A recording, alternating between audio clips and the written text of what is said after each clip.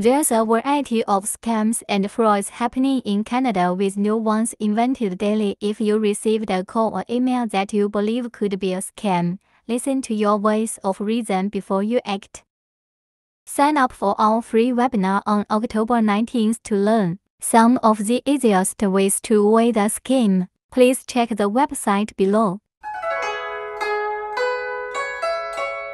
每天都有新的骗局和欺诈在加拿大发生。如果您收到您认为可能是骗局的电话或电子邮件，请在采取行动之前倾听您的理性之声。 请报名参加十月十九日的免费网络研讨会，了解一些避免诈骗的最简单方法。注册会议，请查看以下网站